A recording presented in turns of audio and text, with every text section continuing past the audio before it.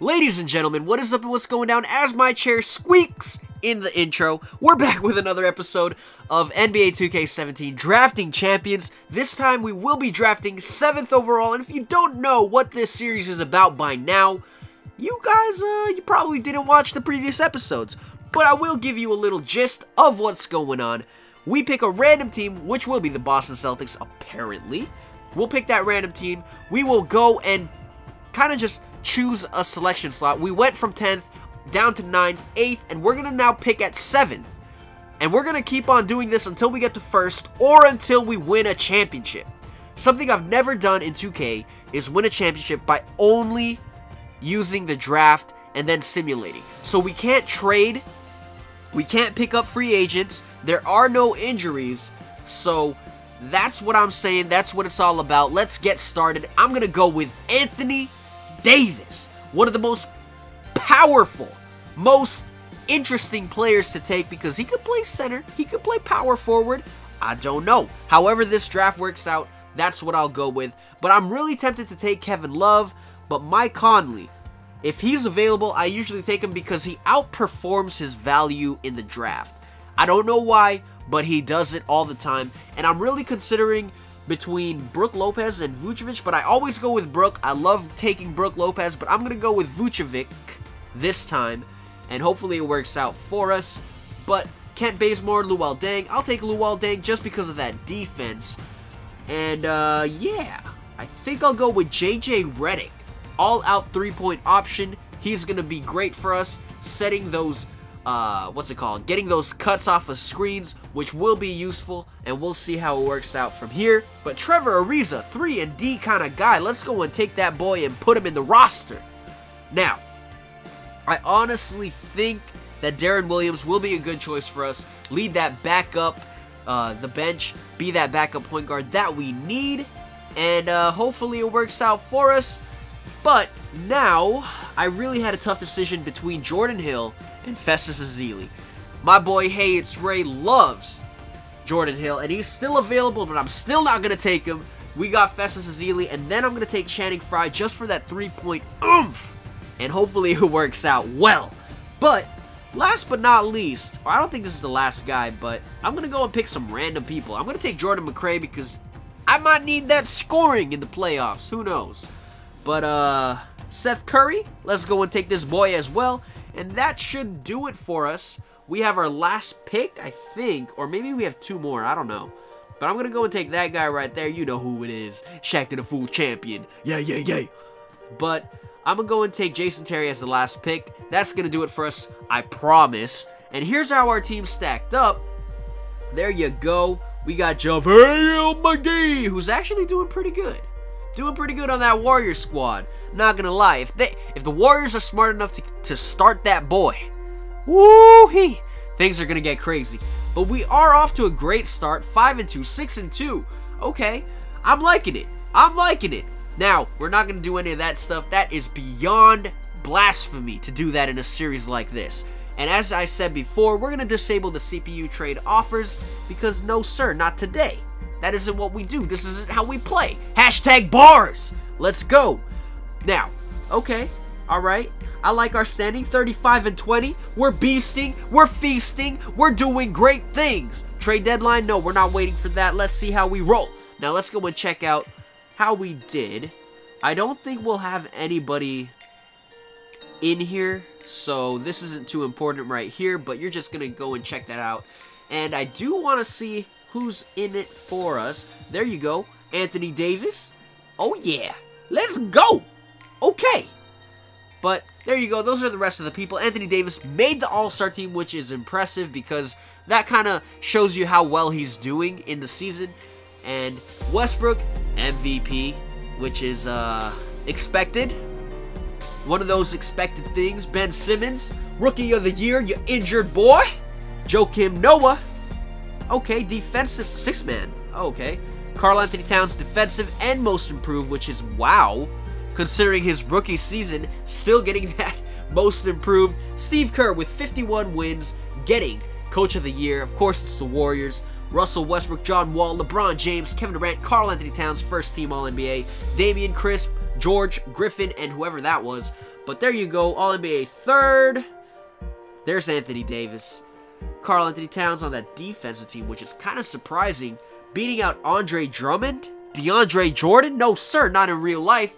There you go. And we get that fourth seed. Here's how everything turned out. Westbrook led the league in scoring. And uh, James Harden doing well for Ev. I think he got eight assists per game. James Harden is going beast mode. He's going ape. Anthony Davis, though, put in that work, 20 points a game scorer. And uh, that's all we really got in the top 10 for the league. Here's how our team stacked up. JJ Redick did nice with it. And Vucevic, Anthony Davis cleaned up the boards. Assists per game. Mike Conley, look at that. 13 and 8. Pretty much 13 and 9. He outdid it. And then he got 2.1 steals and he led the team in turnovers. but let's go and get started to the real part of the series. Let's go! Simulate that game. Okay, Toronto, do you understand what you're doing? You're messing with the Boston Celtics. And forget about it. That's a horrible accent. I'm not going to do that again. Forget about it. It's horrible. I did it again, and I don't know why I did it. But we lead the series 3-1. Let's go. Okay? I'm loving it. Okay, we, we can't stall like that. We can't mess around. Don't give them hope. Toronto doesn't need hope. They already have snow, something I'm jealous about. I wish it snowed here in San Francisco. Okay? I don't have snow. I love snow. S Toronto has snow. Don't give them any more hope. We end up with a victory. Conley, bro. Bro. Sounded like a turkey. Bro. but Conley did work. 23, 6, and 9. Devin Booker as well. Let's go to that second round. We're going up against the Cavaliers. Let's do it. honestly think we can beat these Cavs. The eighth seed Cavaliers beat the number one Philadelphia 76ers. You know it's 2K when when the Sixers are the number one seed and the Cavs are number eight, okay? Okay. Anyways, this is going to be easy peasy lemon squeezy. Hashtag bars. 3-1 again, and hopefully we can close it out right here. Let's do it. Let's go. Simulate that game. Come on, Boston. Let's go. It's a rivalry. Don't make it last any longer. Get that rest. Come on. Blowing them out here in a closeout game. I wonder who's going to be the guy that really just shines for us this series. Come on. You can do it. Come on. That's it. That's the game. Celtics come out on top against the Cavaliers. Conference Finals, here they come. Anthony Davis, but Mike Conley, man, he kind of took a step back as Anthony Davis shined in this one. Austin Rivers, what happened to Karl Anthony Towns? He did nothing. But let's go. We're going up against the Brooklyn Nets. Okay. Who would have thunk that Brooklyn would be in the conference finals and get a victory? Simulate another one. Oh, messed up. Okay, simulate that. Okay, Brooklyn.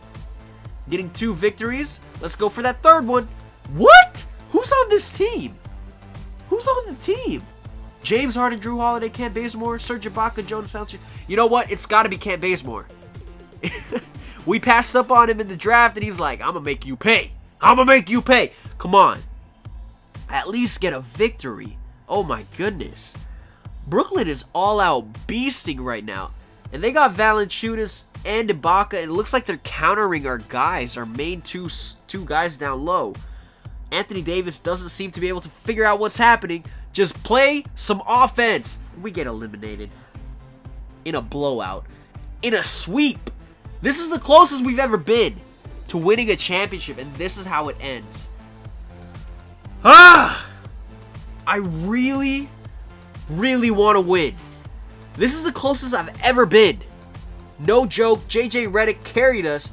But look at that, Mike Con what in the world? Anthony Davis, 7 points, 3 of 19. Mike Conley, 4 of 14. I'm really mad. Jrue Holiday, James Harden, Jones. The Triple J. Illuminati confirmed. Oh my goodness. Lakers, Brooklyn. It could have been Celtics, Lakers. This would have been the perfect way to end a series. No joke. Paul George just did it. Carried the team. This dude is clutch. In 2K, he is one of the best players you could take. If he's available in the draft, take him. But these are the playoff performers. JJ Redick averaging 13. I thought he'd average more considering what he did for us in games. Anthony Davis only 17. He is not clutch, apparently. Don't trust on Anthony Davis in the playoffs. He will not get it done. But that's going to do it, guys. Thank you so much for watching. I really, really do want to win one. And once we get that one, I'm going to end the series because I want to end on a high note. But thank you so much for watching. If you guys enjoyed, make sure to leave a like and subscribe. Adios.